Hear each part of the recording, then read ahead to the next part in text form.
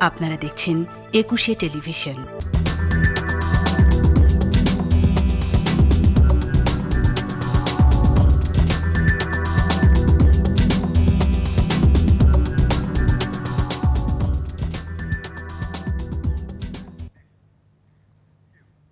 সম্মানিত দর্শক, সবাইকে স্বাগত জানাচ্ছি একুশে টেলিভিশনের নিয়মিত আয়োজন একুশে রাতে।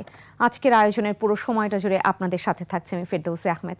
দর্শক, আজকে আমরা কথা বলব পাঁচ সিটি কর্পোরেশন নির্বাচন নিয়ে এবং নির্বাচন কমিশন যে তফসিল ঘোষণা করেছে সেই অনুযায়ী গাজীপুর সিটি কর্পোরেশনের নির্বাচন অনুষ্ঠিত হবে পঁচিশ মে।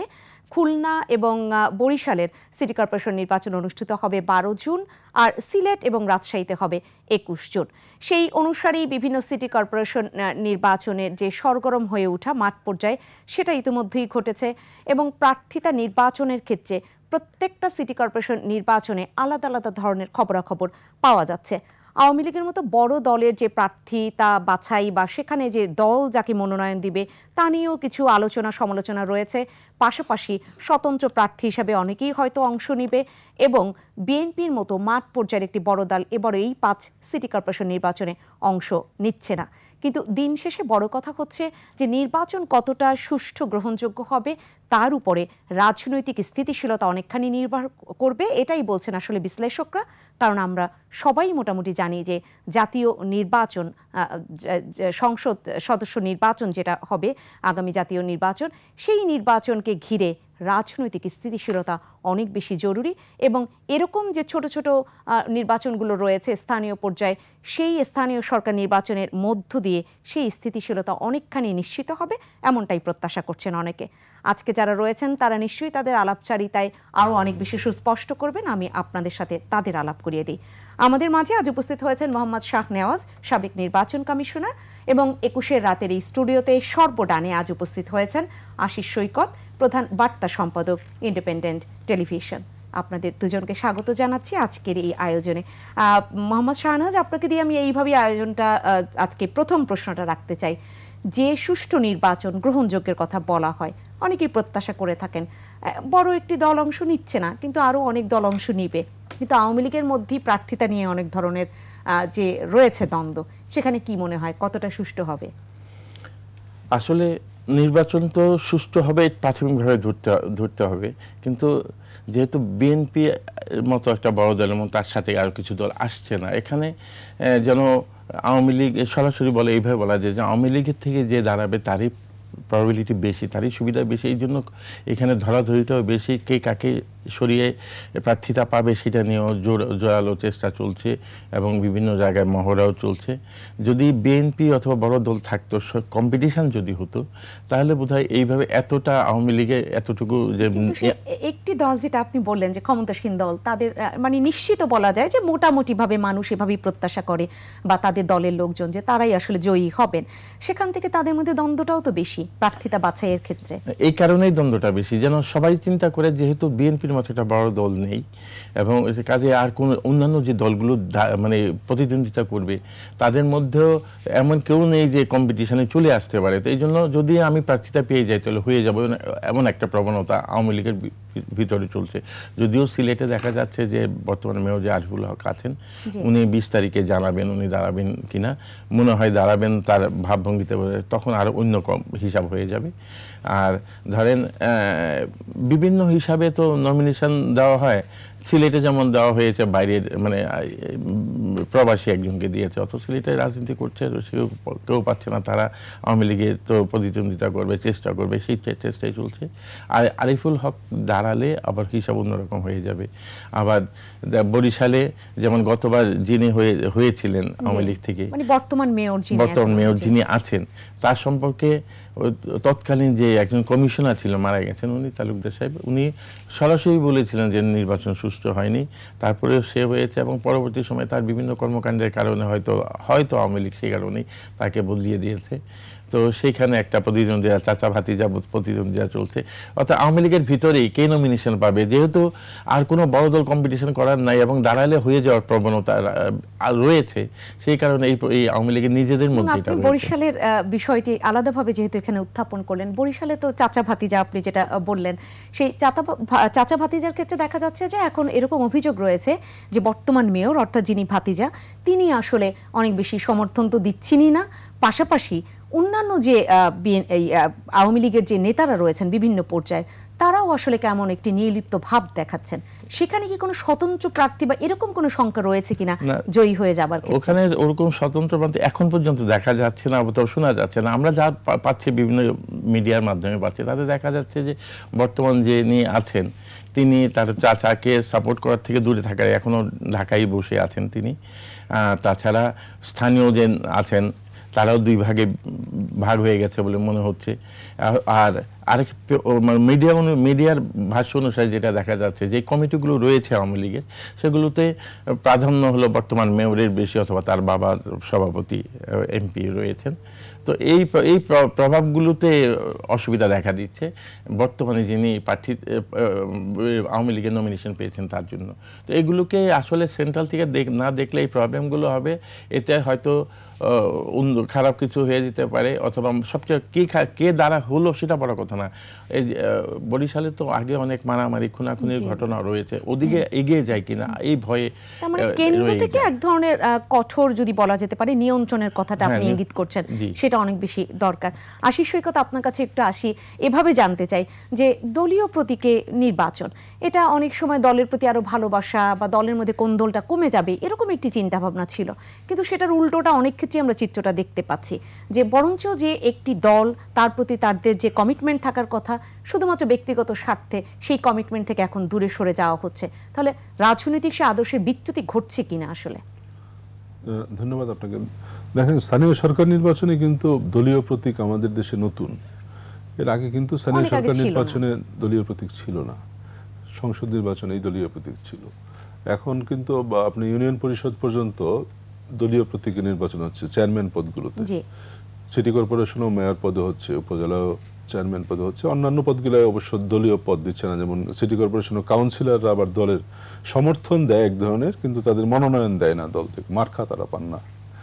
এখন ধরেন যে কোনটা ভালো আসলে, যে এইটা নিয়ে কিন্তু এই বিতর্কটা কিন্তু চলতে থাকবে। দেখেন যে গত ইউনিয়ন পরিষদ নির্বাচন যে হলো, এই গত দেড় দু বছর আগে, সেখানে কিন্তু চার হাজার ইউনিয়ন পরিষদের মধ্যে প্রায় ভোট হলো, সেখানে কিন্তু দুই হাজারের বেশি নৌকা প্রার্থী হেরে গেছে।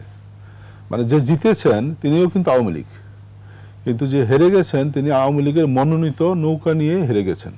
মানে মানে প্রতীকটা নিয়ে হেরে প্রতীকটা নিয়ে হেরে গেছেন। মানে ফলে আওয়ামী লীগ মনোনয়ন যাকে দিয়েছে ভুল মনোনয়ন দিয়েছে মানে যদি আপনি সেই অর্থে যদি বিচার করেন কারণ মানুষ তাকে অ্যাকসেপ্ট করেনি। নৌকা প্রতীক নেয়ার পরও সে হেরে গেছে। ফলে এই যে স্থানীয় সরকার নির্বাচনে এক এক দেশে এক এক রকম আছে। ভারতে একরকম মানে আমাদের দেশে নতুন আসলে এটা আমার কাছে মনে হয় যে এখনও এটা এক্সপেরিমেন্ট চলছে যে যে দলীয় প্রতীক দেয়া ভালো না না দেওয়া ভালো। যে দলীয় প্রতীক ধরেন যে গাজীপুরের কথা যদি বলেন। গাজীপুরে একজনকে মনোনয়ন দেওয়া হয়েছে আজমতুল্লাহ খান। তিনি একজন, একসময় টঙ্গী পৌরসভার মেয়র ছিলেন। কিন্তু দশ বছর তিনি আর এই ট্র্যাকে নাই। একবার তিনি হেরে গেছেন, পরের বার আর নির্বাচন করেননি। দল আরেকজনকে মনোনয়ন দিয়েছিল, জাহাঙ্গীর আলমকে। এরপরে আবার তাকে এবার মনোনয়ন দিয়েছে। কিন্তু আমরা দেখলাম যে সেখানে জাহাঙ্গীর আলম, যিনি মহানগর গাজীপুর মহানগরের সেক্রেটারি ছিলেন, আওয়ামী লীগের, তিনি প্রার্থী হয়েছেন। তার মা প্রার্থী হয়েছেন। দুই তিনজন ওয়ার্ড কমিশনার সাবেক ওয়ার্ড কমিশনার তারাও আওয়ামী লীগ করেন আওয়ামী লীগের নেতা তারা তারাও প্রার্থী হয়েছেন। ফলে কিন্তু মানে এই জায়গা থেকে মানে এখানে নৌকা জেতানোটাই কিন্তু একটা বড় চ্যালেঞ্জ হয়ে যাচ্ছে। মানে বিএনপির কথা যদি আমরা বাদও দিই আর বিএনপির কথা বাদ দেওয়ারও কিন্তু সুযোগ নেই। মানে কোনো না কোনোভাবে কিন্তু বিএনপি আছে। আপনি যদি গাজীপুরে দেখেন গাজীপুরে রনি সরকার নামে একজন প্রার্থী হয়েছেন। তার বাবা আওয়ামী লীগের বিএনপির নেতা ছিলেন। তিনি আহসানুল্লাহ হত্যা, আহসানুল্লাহ মাস্টারের যে হত্যা মামলা, সেই মামলায় উনি দণ্ডিত এবং কারাগারে আছেন। এবং তার চাচা হলো হাসানুদ্দিন সরকার, যিনি গাজীপুর বিএনপির সভাপতি। এক- একেবারেই রাজনৈতিক পরিবারের লোক সে এবং তাকে হাসানুদ্দিন সরকারের সমর্থনেই নির্বাচনে তিনি দাঁড়িয়েছেন। ফলে বিএনপি হয়তো মার্কাটা তার কাছে নাই, কিন্তু সবাই কিন্তু তাকে বিএনপি হিসাবে ওন করছে। আপনি যে সিলেটে দেখেন সিলেটে যে বর্তমান মেয়র, তিনি কিন্তু বিএনপির এবং তিনিও তার কথাবার্তায় আমরা যা বুঝছি তিনি মাসখানেক আগে লন্ডনে ঘুরে এসেছেন তাদের একজন নেতা সেখানে আছেন। এবং তার কথা কিন্তু মনে হচ্ছে তিনি নির্বাচন করবেন। প্রতীক নিয়ে মাঠে নেই কিন্তু তারা তো আসলে রয়েছেন। রয়েছেন। আপনি খুলনায় যদি দেখেন মঞ্জুর সেখানে তিনিও কিন্তু নির্বাচনের প্রস্তুতি নিচ্ছেন। হয়তো দলীয়ভাবে মার্কাটা হয়তো নেবেন না কিন্তু যখন ওই একজন ব্যক্তি দাঁড়ায় এবং ওই এলাকার মানুষ কিন্তু তাকে বিএনপি হিসাবে ওন করে ওই বিএনপির নেতা কর্মীরা তাকে কিন্তু ওইভাবেই ওন করে। ফলে আমার কাছে মনে হয় যে নির্বাচনটা শেষ অবধি মোটা দাগে যদি আমরা বলি যে সেটা প্রতিদ্বন্দ্বিতাপূর্ণ হবে। মানে এর- এর বাইরে স্বতন্ত্র প্রার্থী রয়েছে স্বতন্ত্র প্রার্থী রয়েছে এবং বিএনপি সমর্থিত প্রার্থী না থাকল সরাসরি সমর্থিত না থাকল বিএনপির লোকজন ওন করে এরকম প্রার্থী রয়েছেন। আর এর বাইরে এই নির্বাচনটা আরও বেশি অংশগ্রহণমূলক হওয়ার একটি বড় কারণ হলো যে কাউন্সিলাররা আছেন। কারণ কাউন্সিলররা তো একেবারে ঘরের ভোট মানে ছোট ছোট এলাকা নিয়ে তো একটা এলাকা কাউন্সিলরদের এলাকা ওয়ার্ডগুলো এবং তাদের তো দলীয় যেহেতু হ্যাঁ, মনোনয়ন নেই, আত্মীয় স্বজন বন্ধু বান্ধব সবাই কিন্তু ভোট দিতে আসে। এবং যখন ভোট দিতে কেন্দ্রে আসবে শাহনাজ স্যাররা ভালো আহ, বলতে পারবেন উনি পাঁচ বছর তার একটা বড় অভিজ্ঞতা।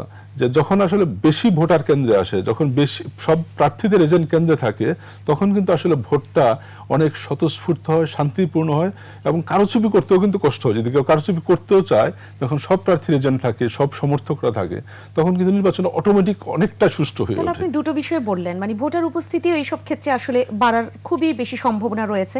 আবার সেখান থেকে ভোটটা সুষ্ঠু হওয়ার সম্ভাবনাটাও বেড়ে যায়। সম্ভাবনাও বেড়ে যায়। আমি এগুলো একটু বিস্তর শুনব। তার আগে আপনি যেহেতু উল্লেখ করলেন যে জাহাঙ্গীর আলমও সে মনোনয়ন ওখানে সেই প্রার্থিতা হিসেবে তার মনোনয়নপত্র জমা দিয়েছেন, তার মাও জমা দিয়েছেন। মা এবং ছেলে একসাথে এই যে মনোনয়নপত্র জমা দেয়া এবং প্রার্থী হওয়ার যে ইচ্ছা পোষণ করা, এটা অনেকে বলছেন যে জাহাঙ্গীর আলম কোনো একটি বাস্তব সমস্যার সম্মুখীন হতে পারেন, আগে থেকে আশঙ্কা করেছেন সেজন্য মাকেও প্রার্থী হিসাবে তিনি দিয়ে রেখেছেন। এটা কি এরকম নাকি অন্য আরও কোনো কারণ রয়েছে? এটা এটা কিন্তু আপনি ঠিকই বলেছেন। মানে এক ধরনের জাহাঙ্গীর আলম আগে থেকে একটা আজ করছিলেন। মানে আপনি জানেন যে জাহাঙ্গীর আলম তার একটা বক্তব্যের কারণে দল থেকে বহিষ্কৃত হয়েছিলেন। এবং সেই বহিষ্কারাদেশ আবার কয়েক মাস আগে সেটি প্রত্যাহার করা হয়েছে। এবং তাকে বহিষ্কার করার পর গাজীপুরে কিন্তু একটা এন্টি জাহাঙ্গীর একটা গ্রুপ সক্রিয় হয়ে উঠেছিল। এখন যখন জাহাঙ্গীর আবার যখন দলে ফেরত আসলো তখন কিন্তু তাকে একটা শর্ত দিয়ে কিন্তু তাকে ফেরত আনা হয়েছিল। তাকে যে চিঠিটা দেওয়া হয়েছে যে তাকে এবারের মতো ক্ষমা করা হয়েছে দল থেকে, কিন্তু ভবিষ্যতে যদি দলীয় শৃঙ্খলা বিরোধী কোনো কাজ তিনি করেন, তাহলে তাকে আবার স্থায়ীভাবে দল থেকে বহিষ্কার করা হবে। ফলে তার মধ্যে এক ধরনের ঝুঁকি ছিল যে দল যেহেতু তাকে মনোনয়ন দেয় নাই, এর বাইরে গিয়ে তিনি যখন নির্বাচন করছেন, তাহলে দল তাকে বহিষ্কার করতে পারে। মানে যে কোনোভাবেই দল তাকে নির্বাচন থেকে সরিয়ে দিতে পারে। সেই ঝুঁকি তিনি নিতে চান নাই, তার মাকে তিনি রেখেছেন যে তিনি যদি নির্বাচন করতে নাও পারেন, তার পক্ষে যেন কেউ নির্বাচন করে। এবং সেই ক্ষেত্রে তিনি তার মাকেই একেবারে বিশ্বস্ত বা তার প্রতিনিধি হিসাবে তিনি মনে করেছেন। এবং জাহাঙ্গীর আলমের মায়ের কথা যদি আমি বলি মানে একেবারেই ঘনিষ্ঠ যোগাযোগের কারণে যেটা জানি, তার মা কিন্তু বেশ শক্ত মানুষ। শক্ত মানুষ জাহাঙ্গীর যখন অনেক ক্রাইসিস ছিল মানে মনোবল খুবই মনোবল শক্ত খুবই শক্ত। এবং যখন জাহাঙ্গীর আলম খুব ক্রাইসিসে ছিলেন যে তাকে গ্রেপ্তার করা হবে কি করা হবে তখন কিন্তু তার মা তাকে বলেছেন যে না পালিয়ে যাওয়া যাবে না। মানে ফেস করতে হবে। যে প্রবলেমটা তার উপর হয়েছে এটা ফেস করতে হবে। নাহলে মানুষ তাকে ভুল বুঝবে। এবং সেটা কিন্তু সত্য সত্য হয়েছে আসলে দিন শেষে। ফলে এই আপনি যদি বলেন আসলে কৌশল হিসেবে করেছে এবং এখন দেখেন যে জাহাঙ্গীর আলমের মনোনয়নপত্র বাতিল করা হয়েছে। এখন জাহাঙ্গীর আলম আবার আপিল করে তার মনোনয়নপত্র ফেরত পাবেন কিনা সেটা আসলে এখন দেখতে হবে আমাদের সময় বলে দিবে। কিন্তু বিকল্প কিন্তু প্রার্থী একজন আছেন তার মার মনোনয়নপত্র কিন্তু বৈধ হয়েছে। মধ্যে পেয়ে যাব সেই সেই ধরনের সাত থেকে দশ মেয়ের মধ্যে এটা একদম নিশ্চিত হয়ে যাবে যে ওনার প্রার্থিতা বাতিল হচ্ছে কি থাকছে। যদি থেকে যায় তাহলে কি মা ছেলেই এখানে প্রতিদ্বন্দ্বিতা করবেন? আর একজন তো রয়েছেনই আওয়ামী লীগ না মনোনীত প্রার্থী। সেটি কিন্তু জাহাঙ্গীর আলম আবার সেটি পরিষ্কার করেছেন যে যদি এমন হয় যে তিনি প্রার্থিতা ফিরে পেলেন, তাহলে কি হবে? মা ছেলে ইলেকশন করবেন? তখন বলেছেন যে না, তার মা যিনি নির্বাচনে দাঁড়িয়েছেন তিনি এবং প্রধানমন্ত্রী তাকে তিনি বলছেন যে তিনি আমার আরেক মা।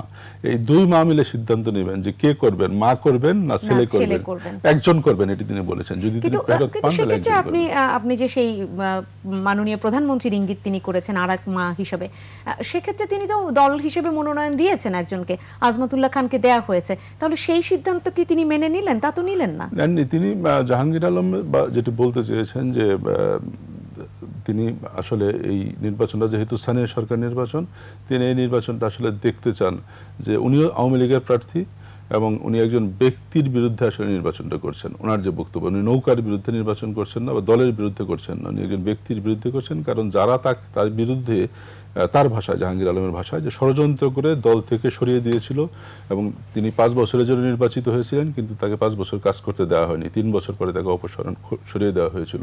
যারা এই ষড়যন্ত্রটা করেছে তাদের বিরুদ্ধে তিনি নির্বাচনটা করতে চান। যে গাজীপুরের মানুষ তার পক্ষে আছে কিনা তাকে আসলে মানে যে তার বিরুদ্ধে যে অভিযোগ সেই অভিযোগগুলো সত্য না অসত্য সেটা তিনি প্রমাণ করার জন্য নির্বাচনটা করতে চান। তার পক্ষে এটাই যুক্তি। আপনি যেটা বলছিলেন যে অ্যান্টি জাহাঙ্গীর যারা আছেন সেই শতাংশটা কত? আর ওনার সমর্থক হিসেবে কতজন রয়েছেন ওইখানের অধিবাসীরা? সেটা তিনি আসলে নিশ্চিত হতে চান এই নির্বাচনের মধ্য দিয়ে। আপনার কাছে আবার আসব মোহাম্মদ শাহনাজ আপনার কাছে একটু এখানে আসতে চাই খুলনার কথা। আমরা তো গাজীপুরের কথা শুনলাম এখন যদি খুলনায় যাই কাউন্সিলর প্রার্থীদের এক্ষেত্রে আওয়ামী লীগ কোনো মানে কোনো ধরনের সমর্থন দিবে না একদম প্রার্থিতা কাউন্সিলরদের ক্ষেত্রে। উন্মুক্ত করে রাখবে। এরকমটাই এখন পর্যন্ত ভাবা হচ্ছে। যদিও সময় এখনও হাতে রয়েছে। খুলনায় তো ষোলো মে বোধহয় শেষ। আমি যদি ভুল না করে থাকি মনোনয়নপত্র আহ, জমাদানে শেষ হবে ষোলো মে। সেক্ষেত্রে এই যে কাউন্সিলর পদে কাউকে দিল না উন্মুক্ত করে দিল সমর্থকদের মধ্যে সেটা কি অনেক বেশি ভাগ হয়ে যাবে না? নাকি সেই আগের মতোই হবে যে ব্যক্তি কেন্দ্রিক? আসলে কাউন্সিলররা তো প্রতীক নিয়ে প্রতিনিধিত্ব করবে না। না না করলেও তো সমর্থন তো একটা দেয়া হয়। সমর্থন এটা হয়, এটা তাদের সমর্থন না দেওয়া এবং দেওয়ার উপর কিন্তু যারা দাঁড়াবে তারা নির্ভর করবে না। সে দেশ নিজের দলেরই হোক, অন্য দলেরই হোক, তারা তাদেরটা দাঁড়াবে। যারা দাঁড়াচ্ছে, দাঁড়াবে এবং যাদের এই ইচ্ছা আছে সমর্থন দিলেও, আসলে আমরা যে অন্যান্য আগের ইলেকশনগুলো দেখেছি আমরা, অনেককে অনেককে সমর্থন ইউনিয়ন পরিষদে চিন্তা করেন, অনেককে সমর্থন দিয়েছে, পাশ করেনি, অনেককে সমর্থন দেয়নি, পাশ করেছে। তো এইসব বিষয়গুলো রয়েছে। এই জন্য এটা খুব মুখ্য হবে না। আসলে কাউন্সিলর বিষয়গুলো স্থানীয়ভাবে নিতে হয় না। এটা ওয়ার্ড বেসিস হয়তো। ওয়ার্ডে কে কতটুকু পপুলার এটা দলের চেয়ে ব্যক্তিগত পপুলারিটি অনেকটুকু কাজ করে। ওইটা ওখানে সবচেয়ে বেশি হ্যাঁ কাজ করে। সেখানে যদি কেউ না সাপোর্টও দেয় তাতে কারও প্রার্থিতা সুবিধা বেড়ে যাবে না কারও কমে যাবে না। আমার কাছে সেটা মনে হচ্ছে। কারণ এই ওয়ার্ড যে কাউন্সিলররা হয় এরা একবারে স্থানীয়ভাবে পরিচিত যারা এবং তাদের ইনফ্লুয়েন্স যাদের আছে তারাই হতে পারে। খুলনার ক্ষেত্রে এটা একটি ভালো সিদ্ধান্ত আওয়ামী লীগ নিয়েছে এটা কি আমরা বলতে পারি কিনা শুদ্ধ কি কারণে নিয়েছে সেটার উপর নির্ভর করে ভালো কি খারাপ। এবং কি কারণে একখানে নেবে একখানে নেব না এটা কি সিদ্ধান্ত? সেটা আসলে স্পষ্ট করে না বোঝা গেলে বললে বোঝা যাবে না। সবচেয়ে ভালো কথা হলো যে আসলে প্রতীক বরাদ্দের ভাই যেটা বলেছেন তারা যেমন করে হ্যাঁ, বরাদ্দের কারণে ঝামেলাটা যেন বেশি হয়েছে। আগে যে বেশ সুন্দর যেমন আমরা যে ছিলাম তখন প্রতীকটা ছিল না। না থাকার কারণে সুন্দর ইলেকশন হয়েছে যদিও আওয়ামী লীগ পাঁচটা জায়গায় হেরেছে তারপরে ইলেকশনে কোনো ঝামেলা হয়নি ওই সময় আমাদের। আপনি কি মনে করছেন যে এখন যখন দলীয় প্রতীকে হচ্ছে তখন ঝামেলা আরও বেড়েছে আগের তুলনায়? কিছুটা আপনি যখন দায়িত্ব পালন করেছেন হ্যাঁ? কিছুটা তো বেড়েছে অবশ্যই এই কারণে যে প্রথম কথা হলো প্রার্থীটা নিয়ে তাদের মধ্যে ঝামেলা হচ্ছে কে কারের বিরুদ্ধে এবং কে নৌকাটা পাবে কে যদি বিএনপি আসতো কে ধানের শীষটা পাবে এগুলো নেওয়া হচ্ছে। এগুলো থাকতো না দ্বারা তো একজনকে দিত কেউ যদি বিদ্রোহী হিসাবে থাকতো সে প্রতীক আলাদা চিহ্নিত করা যেত না যে না সরকারিকে সমর্থন দিয়ে যাচ্ছে। এবং স্থানীয় সরকার মন্ত্রণালয় আমার মনে হয় এটাই সবচেয়ে ভালো হয়। সরকার মানে একটু নিরপেক্ষতা দেখাতে পেলে ভালো লোকগুলো চলে আসে। সেগুলোর থেকে তো একটু দূরে সরেই গেছে। এখন দেখেন গাজীপুরের কথায় ভাই যেটা অর্থাৎ দলীয় প্রতীকে হলে এখানে আশিস সৈকত আপনি কিছু যুক্ত করবেন কিনা? যে দলীয় প্রতীকে হলে আসলে আহ, নিবেদিত প্রাণ কর্মী যদি যে অনেক বেশি সমর্থন রয়েছে ওই এলাকায় তিনি মেয়র পদপ্রার্থী হলেন। কিন্তু দেখা গেলো দলীয় প্রতীক যদি হয় তাকে দলের প্রতি সব সময় বা একটা ধারাবাহিকতা যে মেনটেন করা সেটা অনেক বেশি জরুরি হয়ে দাঁড়ায়। সেখান থেকে এটার ব্যত্যয় হয়ে গেল কি না একটু? না সেটা তো ধরেন যে ইয়ে, আমরা যদি ইয়ে, ইউনিয়ন পরিষদের দিকে তাকাই আমরা যখন ছোট ছিলাম স্যার আরও ভালো বলতে পারবেন আপনারও নিশ্চয়ই গ্রামে যাওয়া আসা আছে। আমাদের গ্রামে কিন্তু যেমন আমার বাবা ইউনিয়ন পরিষদ চেয়ারম্যান ছিলেন। এবং ওই সময় আমরা দেখতাম স্কুলের হেডমাস্টার গ্রামের একটু বিচার সালিশ করতে পারে সম্ভ্রান্ত লোক। যাকে সবাই মানে। সবাই মানে। এরকম লোক কিন্তু ইউনিয়ন পরিষদের চেয়ারম্যান হতেন। আওয়ামী লীগ বিএনপি কিন্তু এখানে কোনো মুখ্য ছিল না। কিংবা তিনি নিজেও নির্বাচন করতে চাচ্ছেন কিনা এটা বড় কথা না। মানুষ তাকে হ্যাঁ, বসিয়ে দিবে আপনাকে নির্বাচন করতে হবে। এবং আপনি যদি ওই সময়ের সঙ্গে এখনকার যদি মামলার হিসাব দেখেন যে একটা ইউনিয়নে ওই সময় যখন প্রতীক ছাড়া ভোট হতো ইউনিয়নে তখন কয়টা মামলা থানায় যেত? আর এখন কয়টা মামলা থানায় যায়? দেখবেন যে কয়েক সুগুণ বেড়ে গেছে। কারণ ওই যে সামাজিক যে একটা ন্যায় বিচারের যে জায়গা তৈরি হইতো ওই চেয়ারম্যানকে কেন্দ্র করে কারণ ওই মানুষটা কিন্তু নিরপেক্ষ ছিল সবাই- সবাই তাকে মানত। দল মত নির্বিশেষে সবাই সম্মান করত। সবাই তাকে সম্মান করতো। উনি যখন একটা সিদ্ধান্ত দিতেন সবাই মানতেন। এখন কিন্তু এটা বিভাগ ভাগ হয়ে গেছে। কেউ আওয়ামী লীগ কেউ বিএনপি বা কেউ অন্য দল। মানে একেবারে মাঠ পর্যায়ে পর্যন্ত আমাদের মতো দেশে আমাদের দেশের ভোটাররা আসলে ভোটারদের নিয়ে প্রশ্ন করা হয়তো ঠিক না কিন্তু আমাদের মধ্যে কতটা আসলে আমরা শিক্ষিত হতে পেরেছি আমি ভিতরের শিক্ষার কথা বলছি সেইটা কিন্তু একটা বড় প্রশ্নের জায়গা এখন দাঁড়িয়ে গেছে। তাহলে আমরা এই যে দেখেন আজকে গাজীপুর নিয়ে কথা হচ্ছে গাজীপুরে কেন চারজন পাঁচজন আওয়ামী লীগের প্রার্থী? একজন তো জিতবেন সেখান থেকে বাকি যে পাঁচজন হারবেন তারাও তো আওয়ামী লীগের লোকই হারবেন। আর যদি যেখানে নৌকা হেরে যায় যেটা ইউনিয়ন পরিষদে হেরেছে অনেক জায়গায় নৌকা প্রার্থী হেরে গেছে এবং এটা কিন্তু লং টার্মে আওয়ামী লীগের জন্য ক্ষতি হচ্ছে কিন্তু কারণ যে লোকটা সারা জীবন নৌকা মার্কায় ভোট দিয়ে এসছে এটা কিন্তু জাতীয় সংসদ নির্বাচন সেখানে একটি প্রভাব পড়তে পারে পড়তে পারে তার কিন্তু অভ্যাস চেঞ্জ হয়ে যাচ্ছে সেই- ভোটারের। উনি কিন্তু মার্কা ভোট তার জীবনে হয়তো প্রথম এই মার্কা নৌকা মার্কায় ভোট না দিয়ে একটা স্বতন্ত্র প্রার্থীর মার্কায় এবং ভোটাররা যে এক ধরনের দ্বিধাদ্বন্দ্বে পড়ে যাচ্ছেন এই বিষয়ে আমি বিস্তার আলোচনা নিশ্চয়ই করব। বিরতির সময় হয়েছে নিয়ে ফিরছি। সম্মানিত দর্শক একুশে রাতে সময় হচ্ছে একটা ছোট্ট বিরতি। নিশ্চয়ই আপনারা আমাদের সাথে থাকবেন।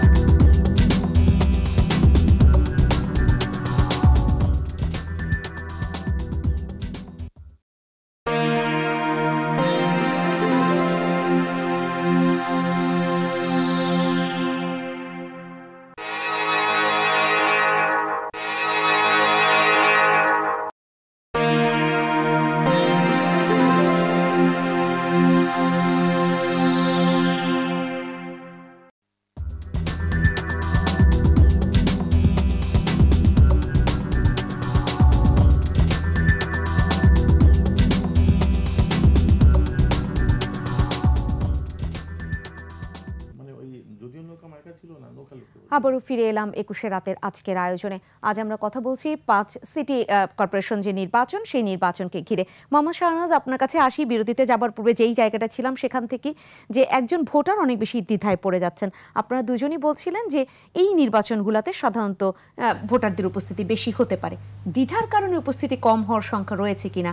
কেউ যদি একজন একেবারেই যে জাতীয় পার্টি তিনি করছেন কিন্তু মানুষ হিসেবে প্রার্থী তিনি দেখলেন যে আওয়ামী লীগের যিনি দাঁড়িয়েছেন তাকে তার অনেক বেশি পছন্দ। কিন্তু তিনি নৌকা প্রতীকে ভোটটা দিবেন না, কারণ তিনি লাঙ্গুল প্রতীক নিয়ে সারা জীবন তার সাধনা ছিল। সেক্ষেত্রে সেখান থেকেও তারা সরে যান কিনা ভোট কেন্দ্র থেকে? এটা তো কিছু অংশ হবেই। যেমন যে যে দল করে, সেই দলের মার্কার বিরুদ্ধে ভোট দিতে যায় না। ইচ্ছা করে অনেক সময়, আমি অনেকের কাছে শুনেছি যে, গেছি ওকে ভোট দিতে, কিন্তু আমার নিজের দলের বিরুদ্ধে মার্কার বিরুদ্ধে আমার হাতটা যায়নি। এরকম কথা অনেকের মুখে শুনেছি। এরকম ঘটনা ঘটবে কিছু। তারপরে কথা হলো যে, পরিবেশটা সুন্দর থাকতে হবে। কে ভোট কাকে দিল এটা মুখ্য বিষয় না। নির্বাচনের যে মুখ্য বিষয়টা হলো সেটা হলো যে সুন্দরভাবে পাঁচটা সিটি নির্বাচন বিভিন্ন সময় যে তারিখ সুন্দরভাবে হওয়ার জন্য পরিবেশ অনুকূল থাকতে হবে। নিজ দলের যে মারামারি এবং দলাদলির কারণে নিজের মানে আন্তর্দলীয় আপনি চমৎকারভাবে বললেন সেটা মুখ্য বিষয় না কিন্তু এটা তো মুখ্য বিষয় যে ভোটার উপস্থিতি কত শতাংশ। হ্যাঁ। আমরা এর আগের অনেক ভোটে দেখেছি যে এরকম অভিযোগ এসে- এসেছে দশ শতাংশ ভোটার উপস্থিতি পনেরো শতাংশ বিশ শতাংশ বা ত্রিশ শতাংশ। এটা এটা তো বাংলাদেশের নির্বাচনে আসলে আমরা যেখানে দেখেছি সত্তর শতাংশ বা সেই প্রত্যাশা থেকে অনেক বেশি দূরে সরে গেল?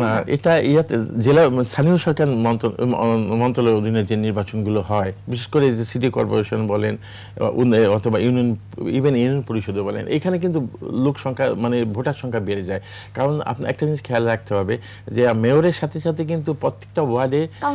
কাউন্সিলররা আছেন এটা কাউন্সিলররা তারা নিজ নিজ ভোটারদেরকে নিয়ে আসেন তারা কিন্তু সাথে সাথে মেয়রের ভোটটাও দিচ্ছে কারণ ভোট ওই জাতীয় নির্বাচনে যে ঘটনাগুলো ঘটেছে ওরকম ঘটার সম্ভাবনা খুবই কম।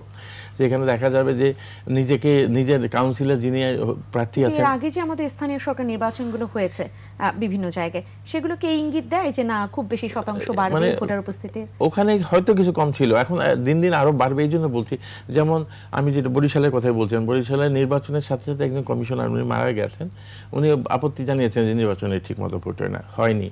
অর্থাৎ আমাদেরকে আগে পরিবেশটা তৈরি করতে হবে এবং সেটাকে সহযোগিতা খালি নির্বাচন কমিশনে এককভাবে করলে হবে না সবাইকে সহযোগিতা করতে হবে।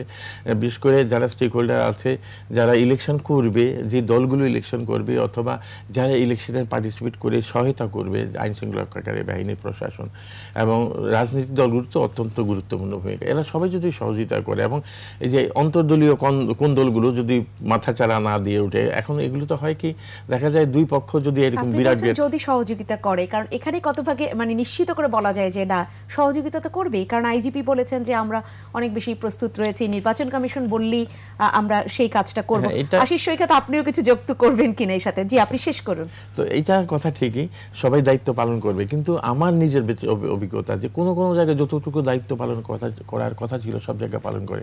খুশি করার জন্য কথা বলবে। যারা স্থানীয়ভাবে থাকে তারা নির্বাচন কমিশনে যারা থাকেন অথবা কমিশনার থাকেন অথবা উচ্চ পদে যারা থাকে হ্যাঁ সব ঠিক আছে কিন্তু ঠিক থাকে না। এইটাকে জোর দিতে এটা সরকারের খেয়াল রাখতে হবে যারা দায়িত্বে আছে তাদের খেয়াল রাখতে হবে। তা এবং এটা যদি তারা ঠিকমতো পালন করে যেমন আমি বললাম যে আমাদের সময় পাঁচটা সিটি নির্বাচনে কিন্তু সুন্দর ইলেকশন হয়েছে সবাই সুন্দরভাবে কিন্তু পরবর্তী সময় অনেক সময় দেখা গেছে তা হয়নি। কেন হয়নি? তার অনেকগুলো এক মানে অনেকগুলো কারণ হলো একটা কারণ হলো স্থানীয় প্রশাসন বলেন আইন শৃঙ্খলাকারী বাহিনী যারা ছিল তাদের যার দায়িত্বে ছিল তারা সঠিকভাবে পালন করেনি। এগুলো খেয়াল রাখতে হবে। এগুলো যদি ঠিক করে তাহলে অবশ্যই আহ, জনগণও আসবে ভোটারও নিশ্চিন্ত হবে যে না কোনো গোলমাল হবে না সুন্দরভাবে ভোট দিতে দিচ্ছি। লোকজনও স্থানীয় সরকার নির্বাচনে জাতীয় নির্বাচনে এমনিও বেশি ভোট আসে তো সব মিলিয়ে আমার মনে হয় সবাইকে সহযোগিতা যদি করার সবাই করে তাহলে অবশ্যই ভালো অনেক বেশি প্রত্যাশা রাখছেন কিন্তু তার মধ্যে যদি একটি শব্দ আছে সেই যদিটা যদি একেবারে ফুলফিল করা যায় দেন অনেক বেশি ভালো একটি রেজাল্ট পাওয়া যাবে এমনটাই আপনি ইঙ্গিত করলেন। আশিস সৈকত আপনি কি বলবেন? ভোট কেন্দ্রের যদি বলি পরিস্থিতি কেমন থাকবে এইখানে আপনার প্রত্যাশা কীরকম? না, স্যার যেমনটি বলছিলেন, স্যার উনি যখন দায়িত্বে ছিলেন ইলেকশন কমিশনার ছিলেন, ওই সময় কিন্তু জাতীয় সংসদ নির্বাচনের আগেই পাঁচটি সিটি কর্পোরেশন নির্বাচন অনুষ্ঠিত হয়েছিল। এবং ওই নির্বাচনগুলো কিন্তু খুবই কি বলব, উৎসব মুখর ছিল। এবং যে কোনো কারণেই হোক, ওই পাঁচটা নির্বাচনে বিএনপি প্রার্থীরা জয়লাভ করেছিল। সবগুলো সিটি কর্পোরেশন নির্বাচনে ইনক্লুডিং গাজীপুর। কিন্তু তারপরে যে সংসদ নির্বাচন হলো সেই সংসদ নির্বাচনে কিন্তু আবার আওয়ামী লীগ সংখ্যাগরিষ্ঠতা পেয়েছিল। ফলে স্থানীয় সরকার নির্বাচনে জিতলেই সংসদ নির্বাচনে জেতা যাবে এরকম কিন্তু হিসাব না।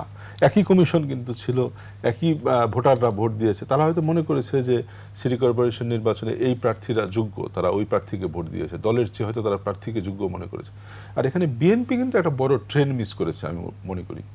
বিএনপি যেটা ট্রেন মিস করেছে যে এইসব ইলেকশনগুলো জাতীয় সংসদ নির্বাচনের আগে কিন্তু এক ধরনের ওয়ার্ম আপ করে দলকে। দলের নেতাকর্মীদের সংগঠিত করার ক্ষেত্রে আপনি ইউনিয়ন পরিষদ বলেন, পৌরসভা বলেন বা সিটি কর্পোরেশন বলেন, দলের নেতাকর্মীদের সংগঠিত করে যে সংসদ নির্বাচনে এই জিনিসটা খুব কাজে লাগে। কিন্তু বিএনপি দেখেন ধারাবাহিকভাবে ইউনিয়ন পরিষদ নির্বাচনগুলো বর্জন করল এবং তারা কিন্তু ইউনিয়নে তাদের কিন্তু ইউনিট আছে, তাদের কিন্তু সংগঠন আছে।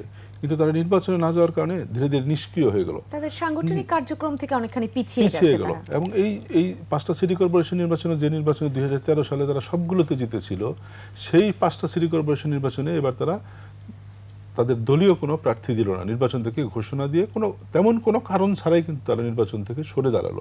এতে করে কিন্তু যদি সাংগঠনিকভাবে বলেন তাহলে কিন্তু বিএনপিরও বড় একটা ক্ষতির জায়গা কিন্তু তৈরি হলো। যে পাঁচটা সিটি নির্বাচনে তারা কিন্তু অর্গানাইজড হতে পারতো, নির্বাচনকে কেন্দ্র করে। পাস ফেল তো একজন হবেই। কিন্তু তারা কিন্তু একটা সংগঠিত হওয়ার কর্মীদের আরও সক্রিয় করার একটা সুযোগ তৈরি হয়েছিল। কিন্তু তাদের যদি বলি, এক ধরনের এরকম কৌশল হয় যে তারা আপনি যেটা ট্রেন মিস করলেও এটা এটা বলছিলেন, সেই ট্রেনে তারা ধানের শীষ বগি নিয়ে গেল না, সেই ট্রেনের সাথে, সেটা জুড়ে দিল না। কিন্তু বিক্ষিপ্তভাবে তারা স্বতন্ত্র প্রার্থী হিসেবে তারা সেই কাজটা করে গেল, ওই ট্রেনের সাথেই ছুটলো। পরবর্তীতে এরা সব ওই বগিতে তুলে নিল ধানের শীষ বগিতে। তাহলে তারা নিশ্চুপে কাজটা করল কিনা? আবার তাদের সেই যে দফা দাবি সেগুলোও ঠিক রাখল। সেটা হতে পারে ক্ষেত্রে তারা কোনো কৌশল নিল হতে পারে কিন্তু এটা একটু কঠিন। যখন মার্কা থাকে দলের প্রধান বা দলের সেক্রেটারি জেনারেল যখন যে বক্তৃতা করবে বলবে যে উনি আমাদের প্রার্থী দল থেকে যখন বলবে তখন যেরকম কর্মীরা একেবারে ঝাঁপিয়ে পড়বে এখন কিন্তু এক ধরনের দ্বিধাদ্বন্দ্ব কাজ করছে। যে হ্যাঁ দলের প্রার্থী আছে কিন্তু তিনি বিএনপি তাকে ওন করছে না আবার। তার মার্কাটা ধানের শীষ না বিদ্রোহী বলছে। ফলে কিন্তু ভোটটা একটু স্ট্যাগার্ড হয়ে যাচ্ছে। আর মোটামুটি একটা মাইন্ডসেট হয়ে যাচ্ছে যেহেতু বিএনপি ধানের শীষ নিয়ে কাউকে দিচ্ছে না ফলে আওয়ামী লীগ প্রার্থী জিতে যাবে। ফলে বিএনপির যারা সমর্থক কর্মী আছে তারা কিছুটা নিষ্ক্রিয় হয়ে যাচ্ছে। অথবা অন্য বিদ্রোহী যে আছে তাকে ভোট দিয়ে আওয়ামী লীগকে ফেল করা আওয়ামী লীগকে ফেল করানোর হয়তো চেষ্টা করবে। চেষ্টা করবে। ফলে এই জায়গাটায় যদি বিএনপি সক্রিয়ভাবে নির্বাচন হতো তাহলে কিন্তু নির্বাচন কমিশন বা রিটার্নিং অফিসার যারা নির্বাচন পরিচালনা করছেন তাদের জন্য কিন্তু কাজটা সহজ হতো। কারণ বিএনপি বিএনপিও দিত সব ভোট কেন্দ্রে। তাহলে মাঠের রাজনীতিতে এই কৌশল নিয়ে বিএনপি অনেকটা পিছিয়েই পড়েছে এমনটা বলা যেতে পারে। যদি জাতীয় পার্টির কথা জিজ্ঞেস করি জাতীয় পার্টি তিনশো আসনেই তো আসলে আহ, দিবে আগামী জাতীয় সংসদ নির্বাচনে তারা প্রার্থী দিবে এরকমটা যেমন বলা হয়েছে আবার এই সিটি কর্পোরেশন নির্বাচনেও তারা অংশ নিচ্ছে। কিন্তু জাতীয় পার্টির চেয়ারম্যান বলেছে যে আমরা প্রার্থী তো দিচ্ছি, কিন্তু জনগণ আমাদের কাছে জানতে চায়। এরকম একটি কথা তিনি ইতিমধ্যেই বলেছেন যে অনাস্থা রয়েছে অনেক বেশি এই নির্বাচন কমিশনের প্রতি, যে ভোটটা দিতে পারব কিনা, এরকম একটি প্রশ্ন জনগণ আমাদেরকে করে। ফলাফল ঘোষণাটা কীভাবে হবে, ভোটারদের মাধ্যমে হবে, নাকি অন্য কোনোভাবে একটা ফলাফল ঘোষণা করে দেয়া হবে, এরকম কিছু কথা উনি বলেছেন। সেদিক থেকে কি মনে হয়, নির্বাচনের সুষ্ঠু হবে না? এরকম ইঙ্গিত কি জাতীয় পার্টি করছে? না, সেটা তো ধরেন একটা আছে। জাতীয় পার্টির ভোটের যে হিসাব যদি আপনি দেখেন। তাহলে কিন্তু জাতীয় পার্টি জেতার মতো দল না। পাঁচটা সিটি কর্পোরেশনেই আপনি যদি গত বিশ বছরের ভোটের হিসাব দেখেন জাতীয় পার্টির ভোট আট দশ এগারো বারো পার্সেন্ট ভোট তাদের। তো এই ভোট দিয়ে তো তারা আসলে জিততে পারবে না। এখন জিততে হলে হয় তার বিএনপির ভোট তাকে ক্যাশ করতে হবে অথবা আওয়ামী লীগের স্বতন্ত্র বা আওয়ামী লীগের নৌকা বিরোধী যে ভোটটা সেই ভোটটা তাকে ক্যাশ করতে হবে। এখন সেইটা তারা কটুক করতে পারবে সেটা ডিপেন্ড করবে। যেমন ধরেন গাজীপুরও একজন জাতীয় পার্টির প্রার্থী আছেন। এবং তিনি এক সময় স্বাস্থ্য সচিব ছিলেন মানে ওনার অর্থ বিত্ত বল তার সব আছে আপনি কি এটা বলছেন যে যে পাঁচটা সিটি কর্পোরেশন নির্বাচন এখন অনুষ্ঠিত হতে যাচ্ছে এগুলোতে জাতীয় পার্টির ভোট অত বেশি না এরকমটা বলছেন? হ্যাঁ স্ট্যাটিস্টিক্স তাই বলে যে আপনি যে স্ট্যাটিস্টিক্স দেখেন মানে পাঁচটা সিটি বিভিন্ন সময় স্ট্যাটিস্টিক্যাল ডেটা যেটা ডেটা সেটা যেটা বলে সেখানে। আপনি আট থেকে এগারো পার্সেন্ট এখানে ভোট জাতীয় পার্টি বাবা বারো পার্সেন্ট ভোট আছে। ফলে শুধু তাদের ভোটে জাতীয় পার্টির লাঙ্গলের ভোটে তাদের পক্ষে জেতা সম্ভব না। হ্যাঁ রংপুরে দেখেন রংপুরে কিন্তু আবার জাতীয় পার্টি জিতেছে। কারণ ওখানে তার ভোটের হিসাবটা অন্যরকম। জাতীয় তো অনেকটাই ধরেন অনেকটাই আঞ্চলিক উত্তরবঙ্গের দল হিসাবে বিশেষত ঈশ্বর সাহেবের মৃত্যুর পর কিন্তু এরা আরও একটু দুর্বল হয়ে গেছে একটু ক্ষয়িষ্ণু দলে পরিণত হয়েছে। ফলে তাকে কিন্তু ভর করতে হবে যেমন সংসদ নির্বাচনেও তাকে কিন্তু ভর করতে হয় কারও না কারোর সঙ্গে জোট করতে হয় আওয়ামী লীগের সঙ্গে তার জোট করতে হয়। তাহলে কিন্তু তা না হলে কিন্তু তার যে আপনি এমপির সংখ্যা এখন যেটা আমরা দেখি পঁচিশ আঠাইশ তিরিশ এটা কিন্তু থাকবে না। এটা কিন্তু ভোটের হিসাবে কিন্তু আট দশে নেমে আসবে। যেহেতু জোট তারা করেন এবং তারা জোট করেন ওই কৌশলটার কারণেই যে তাহলে আওয়ামী লীগের ভোটটা যদি তারা তার প্রার্থী পেয়ে যান তাহলে তিনি জিতে যাবেন। আগামী যে জাতীয় সংসদ নির্বাচন রয়েছে যেটা আসছে আমাদের সামনে সেটার কথা চিন্তা ভাবনা করে এই সময়ে কি সেই ভর করা বা জোট করার হিসাবটাও তারা মিলিয়ে নিচ্ছেন নেয়ার চেষ্টা করছেন? না সেটা তো জাতীয় পার্টির মাথার মধ্যে কিন্তু সবসময় জোটের চিন্তা একটা আছে। কারণ সে তো নিজে তার শক্তি সম্পর্কে উনি জানেন যে তার ভোট কোথায় কেমন আছেন। ফলে জোট ছাড়া যে তিনি খুব ভালো জায়গায় দাঁড়াতে পারবেন না সেটা উনি জানেন। এখন ধরেন যে ফাঁকা মাঠে গোল দেওয়া অনেক সময় হয়। যেমন আঠারো সালের বা চোদ্দ সালের নির্বাচন যদি বলেন, অনেকটা কিন্তু জাতীয় পার্টি ফাঁকা মাঠে গোল দিয়েছে। না তো জাতীয় পার্টি বিরোধী দল হওয়ার কথা না সংসদে পার্লামেন্টের বিরোধী দল হওয়ার কথা না। কিন্তু যেহেতু বিএনপি চোদ্দ সালে নির্বাচনে যায়নি জাতীয় পার্টি ওই জায়গাটা সুযোগ তৈরি হয়েছে পঁচিশ তিরিশ যাই- পেয়েছে তারা বিরোধী দল হয়ে গেছে সংসদে। সংখ্যা আঠারো সাল আঠারো সালও তাই হয়েছে আঠারো সালে বিএনপি সিদ্ধান্তহীনতা ছিল নির্বাচন করবে কি করবে না দ্বিধাদ্বন্দ্বে ছিল শেষ পর্যায়ে তারা অল্প কিছু সংখ্যক আসনে নির্বাচন করেছে এবং সক্রিয়ভাবে আসলে বিএনপি আঠারো সালের নির্বাচনে সব আসনে অংশ নেয়নি। সেই সুযোগটা কিন্তু জাতীয় পার্টি তখন পেয়েছে এবং জাতীয় পার্টির বিরোধী, প্রধান বিরোধী দল যেহেতু সংখ্যায় তারা বেশি এমপি হয়েছে, তারা সুযোগটা পেয়েছে। সেই সুযোগ জাতীয় পার্টি এবারও খোঁজার চেষ্টা করবে এবং আমার মনে হয় যে সিটি কর্পোরেশন নির্বাচনও জাতীয় পার্টি সেই সুযোগ তারা খোঁজার চেষ্টা করবে। হয়তো বা এই সিটিগুলোতে জাতীয় পার্টি আমার যদ্দূর তথ্য তাতে আমার মনে হয় না জাতীয় পার্টি খুব বেশি সুবিধা করতে পারবে কিন্তু তারা সাংগঠনিকভাবে তারা যে সুবিধাটা পাচ্ছে যে সাংগঠনিকভাবে কিন্তু তারা একটা শক্তিশালী হওয়ার কিন্তু একটা সুযোগ কিন্তু তারা তৈরি হচ্ছে। মানে এবং তারা সেই ট্রেনটা আসলে কখনোই মিস করেন না সেটা তারা খুব ভালোভাবে লুফে নেন। মোহাম্মদ শাহনাজ আপনাকে যদি জিজ্ঞেস করি ইভিএম এর ব্যাপারটা ইভিএম এ ভোট হবে। ইভিএম নিয়ে নানান ধরনের কথা তো রয়েছে কারচুপির কথা প্রায়শই আমরা শুনতে পাই যে না ইভিএম এ এখানে একটি বড় অনাস্থা রয়েছে যে ইভিএম এ সুষ্ঠু ভোট হবে না। কি মনে করছেন আমি আমি যেটা বলব যে ইভিএম এর অনাস্থাটা একটা মানে অদ্ভুত ধরনের অদ্ভুত ধরনের এই জন্যে ইভিএম না দেখেই কিন্তু অনাস্থা। ইভিএমটা দেখেন, আম- আমি, আমরাও বলেছি এখন তো আরও উন্নত। এখন যে ইভিএমটা আছে, অনেক উন্নত মানে এটা, এটাকে হ্যাক করার কোনো সুযোগ নেই, এটাকে জালিয়াতি করার সুযোগ নেই। আপনার, শুধু থাকলে বলেন আপনার নির্বাচন কমিশন তো কয়েকবারই বলেছে যে আপনারা দেখেন এসে কোথাও ভুল ত্রুটি হলে বলেন, আমরা তো সরিয়ে ফেলব করব না। তো তা যাবে না। যেমন ওই যে, ইয়েতে সিলেটের সিটি মেয়র- বর্তমান, কর্পোরেশনের মেয়র, বলতে, বলতেছে যে ইভিএম এর ভোট সন্দেহ। কেন সেটা কোনো ব্যান মানে এটা একটা আমার ইচ্ছা হলো আমি বললাম ইভিএমটা এখনকার যে ইভিএমটা আসলেই আহ, মানে নিচ্ছিদ্র একটা কিন্তু ভোট দিতে গিয়ে সার্ভার জটিলতা ভোটটা দিতে পারছে না ফিঙ্গার ম্যাচ করছে না এরকম যে নানা এগুলো খুবই সামান্য পরিমাণ হচ্ছে। আপনি এই কথা কিন্তু এগুলো আসছে আমি যেটা বল এই কথা কি এসছে যে আমার ভোটটা অন্যখানে চলে গেছে? এই কথা কিন্তু কেউ বলেনি। হ্যাঁ যেটা হয়েছে এটা অনভ্যাসের কারণে দেখা যাচ্ছে যে ওই একটু দেরি হচ্ছে। এগুলো কিন্তু আস্তে আস্তে ওভারকাম করে যাচ্ছে। তো এগুলো আস্তে আস্তে যত ব্যবহার করবে করবে এটা ইভেন অনেকে যে বলে গণা যায় না গণাও যায়। ইভিএম মেশিনে ভোট গণা যাবে। এরকম সেই পদ্ধতিও এই ইভিএম মেশিনে আছে। ওই অন্যান্য দেশের ইভিএম ইভিএম তো আসলে ভোট গণনার যে পদ্ধতি অন্যান্য আমাদেরটা আলাদা। আমাদেরটা অনেক বেশি সফিস্টিকেটেড দেশের সাথে তুলনা করতে গেলে তখনই আমরা পার্শ্ববর্তী দেশ যে না তারা রিজেক্ট করেছে আমরা কেন করছি? না আমাদের পার্শ্ববর্তী দেশ রিজেক্ট করেনি। এরকম নানা না আলোচনা বলেছে। ওগুলোর সাথে এগুলো আকাশ পাতাল ব্যবধান। ওগুলো জাস্ট একটা ওই কাউন্টিং মেশিনের মতো। আর এটা অনেক বেশি সফিস্টিকেটেড আরেকটি আসলে অনেকের প্রস্তাবনা বলা যেতে পারে, কিংবা অনেকের একটি চাওয়া বলা যেতে পারে যে, ছিল, আমি ভোটটা দিয়েছি, আমি যদি ইভিএম এ ভোটতে আসি, সে ছোট্ট একটি রিসিট পেতাম। হ্যাঁ তাহলে আমি ভাবতাম যে না আমি আমার ভোটটা দিয়েছি।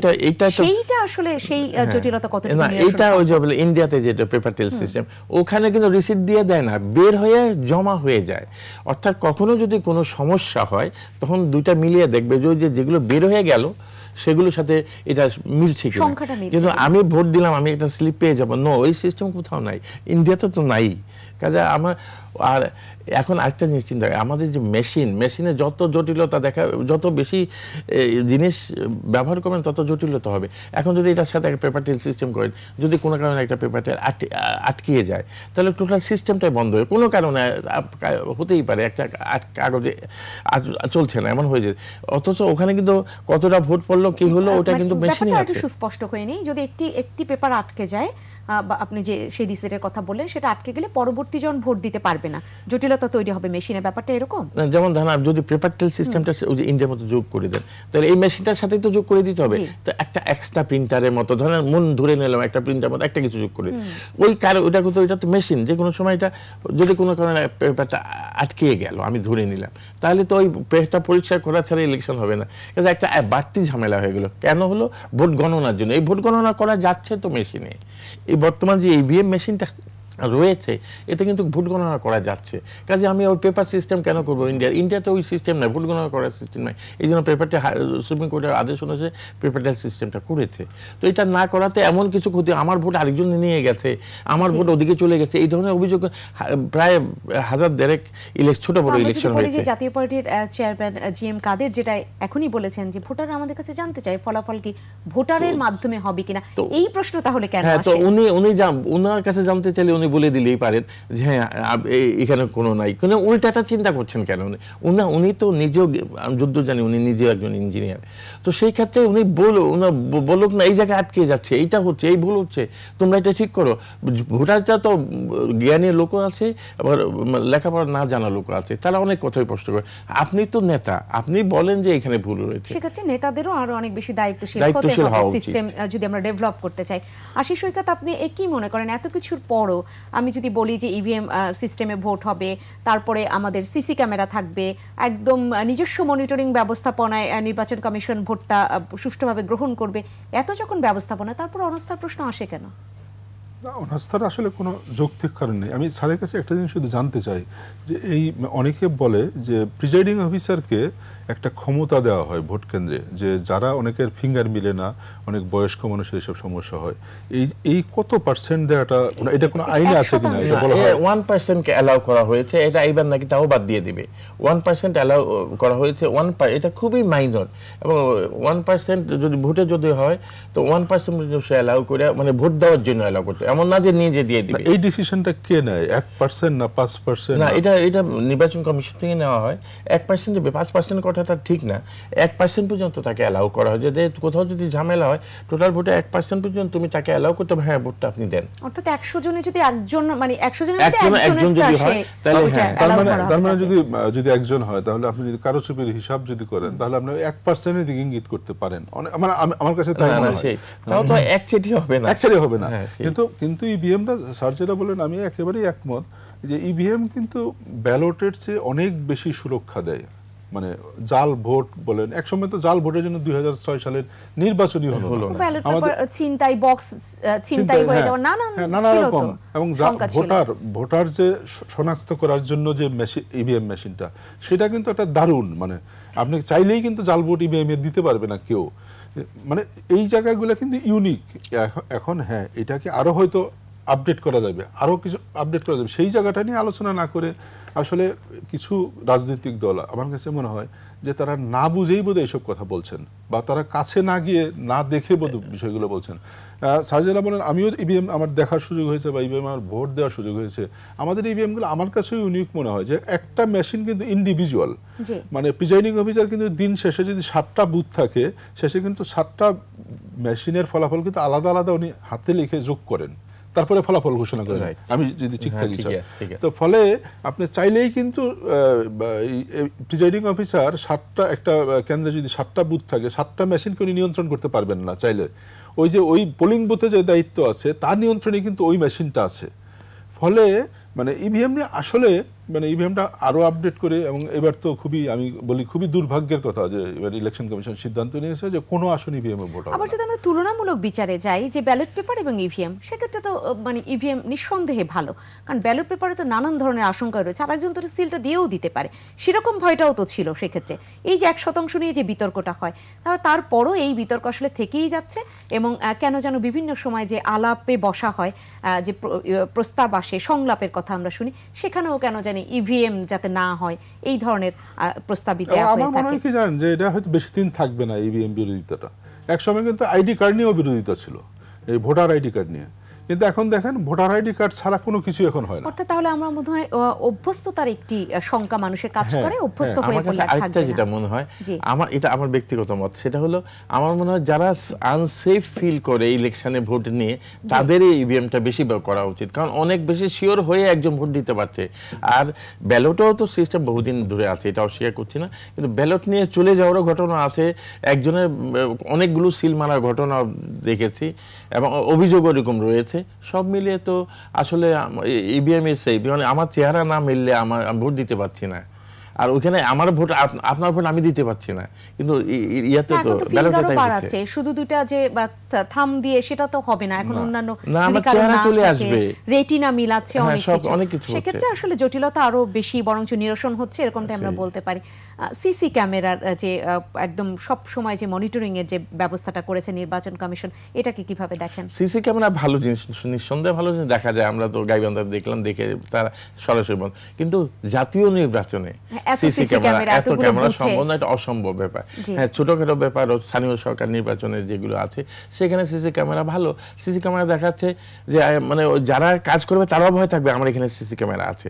আছে যারা দায়িত্বে থাকবে তারাও সাবধান হয়ে যাবে বিশেষ করে কয়েকটা ঘটনার পরে আর সরাসরি নির্বাচন কমিশনও দেখতে পারবে। এটা সিসি ক্যামেরা তো ভালো জিনিস। সিসি ক্যামেরা তো আমি আমার গোপন যে ঘর যে আছে সেখানে তো আর সিসি ক্যামেরা যাচ্ছে না। দেখা যাচ্ছে ওখানে কে যাচ্ছে কে আসছে। তো আর ভোট দেওয়াটাও দেখা যাচ্ছে না। কাজে ওখানে সিসি ক্যামেরা থাকে ভালোই হয়েছে। যদি ফালতু লোক আসে পরিস্থিতি ওখানে সব সময় ওটা অবজারভেশনের মধ্যে কেউ বাইরের লোক আসে কেউ উল্টো পাল্টা কাজ করার চেষ্টা করে সেগুলো ধরা পড়বে। কিন্তু সিল দেওয়াটা ওইটা তো ওটা তো আর ক্যামেরাতে আসবে আরেকটি বিষয় বলা হয়েছে নির্বাচন কমিশন থেকে দুই ঘণ্টা পর পর একেবারে এই যে নিজস্ব মনিটরিং এ হাল নাগাদ করা হবে এটা মানে কি জানানো হবে? এরকম কিছু বোঝানো হয়েছে? ঠিক আমার কাছে বিষয়টা ক্লিয়ার হাল লাগাত বোঝা কি বোঝাচ্ছে? অন্তত আমার মনে হয় যেন কোনো অসুবিধা হচ্ছে না বোধহয় এটাই জানো আমি আমি শিওর না কারণ এই পর্যন্ত আশিস সৈকত কিছু জানেন কিনা এই ব্যাপারে? এই হাল নাগাদ শব্দটার ব্যাপারে। কত পার্সেন্ট ভোট দিল কত পার্সেন্ট ভোট পড়ল সেই তথ্যটা জানাবে আর কি দুই ঘণ্টা পর পর। যদি কেউ জানতে চায় না জানতে চাইলে তা জানাবে না তবে তারা প্রস্তুত থাকবে প্রিজাইডিং অফিসার আমি যেহেতু জেনেছি। মানে যদি কোনো সাংবাদিকরাও গিয়ে এটা জানতে চান তাহলে তারা সেটা দুই ঘণ্টা পর পর তারা একটা আপডেট দিবে যত পার্সেন্ট ভোট কাস্ট হয়েছে ভালো মানে এই এটা জানানোর জন্য। আর যেটা সিসি ক্যামেরার কথা যেটা বললেন যে সিসি ক্যামেরা অবশ্যই ভালো তবে এই নাকচ করে দেওয়া বা- ঠিক না যে তিনশো আসনেই আমরা করব না এটা বোধহয় না করলে ভালো হইতো। ওনারা বলতেন যে আমরা ভোটের আগে সিদ্ধান্ত নেব কোন কোন আসনে আমরা করব। আমরা যে ঝুঁকিপূর্ণ কেন্দ্র বলি সেখানে তো আসলে হ্যাঁ। রাখা যেতেই যে হয়তো বিশটা আসন আছে খুব ঝুঁকিপূর্ণ। এই যে- তারা এখন বলতো না ভোটের আগের দিন বলতো যে আমরা সিদ্ধান্ত নেব ভোটের আগের দিন যে কোন বিশটা আসনে আমরা সিসি ক্যামেরা ব্যবহার করব। তাহলে কিন্তু সবার মধ্যে একটা ভয় থাকবে। আমার হতে পারে, আমার আসনে হতে পারে। তো সেটা হলে কিন্তু আমার মনে হয় যে নির্বাচন কমিশনের জন্য এটা একটু সহায়ক হতো। তাদের জন্য কাজ করতে সুবিধা হতো। যেটা আমরা গাইবান্ধায় কিন্তু দেখলাম যে তারা হ্যাঁ ডেফিনেটলি আসলে তিনশো আসনে পাঁচ আসনে আমরা খুব দেখলাম যে একেবারে বন্ধ করে দেয়া হলো। সেরকম একটি ঘটনাও আমরা তিনশো আসলে আসনে করা আসলে এটা জটিল প্রক্রিয়া। কিন্তু তিনশো না বাট ওই- রকম যদি একটা রাখা যেত। ভাই যেটা বলছেন ওইটাই বে- ওই যে হ্যাঁ, এই যে প্রস্তাবনা আশিস সৈকত যেটা বললেন যে একদম আগের দিন প্রকাশ হ্যাঁ আগের দিনকে পাঁচ- সাত দিন আগে নির্বাচন কমিশন কি কেউ কি বলেছে যে এরকম হলে খুব ভালো হয়? এরকম প্রস্তাবনা কি তাদের কাছে গিয়েছে? প্রস্তাবনা তো দেখি না শুনিনি আমরা। তবে উনি যেটা বলেছেন এটা আসলেই ভালো হতো যে অতি গুরুত্বপূর্ণ যেগুলো বলা হয় আর কি সেই সব জায়গা যে যদি তারা নিজে ঠিক করে এগুলো এখানে দেওয়া উচিত। সময় আর সব তাহলে মানে যেহেতু আগের থেকে জানতো না সবাই ভয় থাকতো কোন জায়গায় দিয়ে আমার ঝামেলা আমরা এই ঝামেলা যাব না আমরা অন্য স্ট্র্যাটেজি নেব। এই করে হতে পারতো এটা ভালো হতো এই নির্বাচন কমিশনের জন্য উনি ঠিকই বলেছেন এটা। আমাদের ভোটও দেয়া হলো ভোটার উপস্থিতি আমরা সবকিছুই ভালো প্রত্যাশ- প্রত্যাশা করছি ইতিবাচক চিন্তা করছি। ফলাফলের ক্ষেত্রে গিয়েও বলে যে না আমার আসলে এত ভোট পড়েছে আমার এত লোক ভোট দিয়েছে কিন্তু রেজাল্টে উল্টোটা দেখতে পাচ্ছি। এইটা কেন বলা হয়? এখানে তো কোনো কারচুপির সুযোগ থাকার কথা না। এখন দেখেন যে প্রত্যেক কেন্দ্রে কিন্তু একজন করে এজেন্ট থাকে সব প্রার্থীর। এবং যখন ভোট গণনা শেষ হয় তখন কিন্তু এজেন্ট ওখানে সই করেন কেন্দ্রে। সই করে কিন্তু ফলাফল নিয়ে উনি কিন্তু বাসায় ফিরেন বা ওনার প্রার্থীর কাছে যান। তো অতএব এইটা কিন্তু সব প্রার্থীর কাছে কিন্তু এজেন্টের হিসাব থাকে বা থাকার কথা। সেই হিসেবে হয়। গরমিল হয়? কোনোভাবে গরমিল হওয়ার কথা হওয়ার না। কথা না। এখন ধরেন এক জায়গায় হয়তো যোগ করতে বিয়োগ করতে গিয়ে একটু ভুল হতে পারে।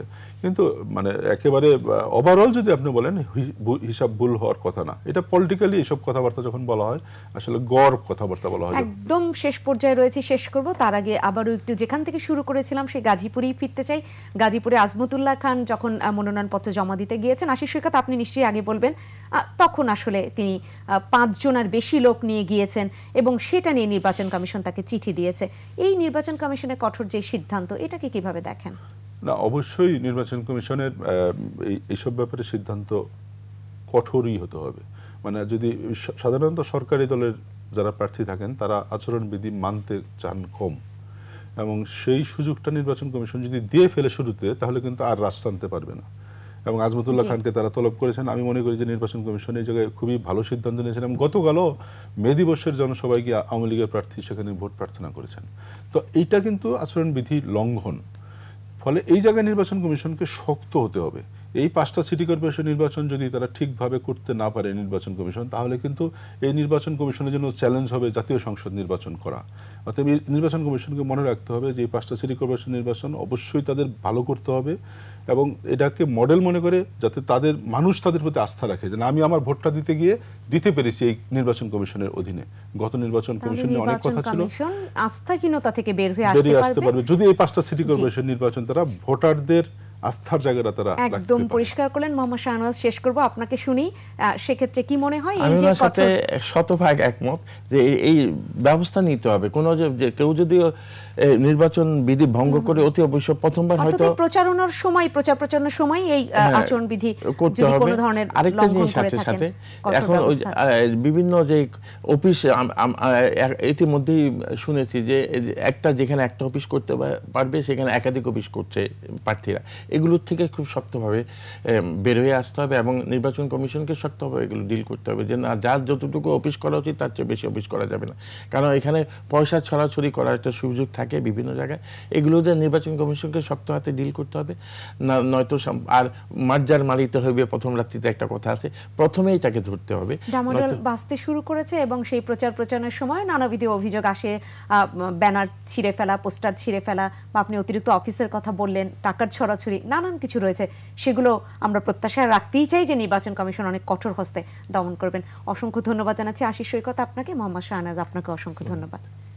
সম্মানিত দর্শক, আপনাদেরকে অসংখ্য ধন্যবাদ জানাচ্ছি। আমাদের আজকের আলোচনায় থাকবার জন্য পাঁচ সিটি কর্পোরেশন নির্বাচন, যেটা, এটা আসলে সামনের দিনে একটি আয়না হিসেবেই কাজ করবে যে আমাদের দ্বাদশ জাতীয় সংসদ নির্বাচন।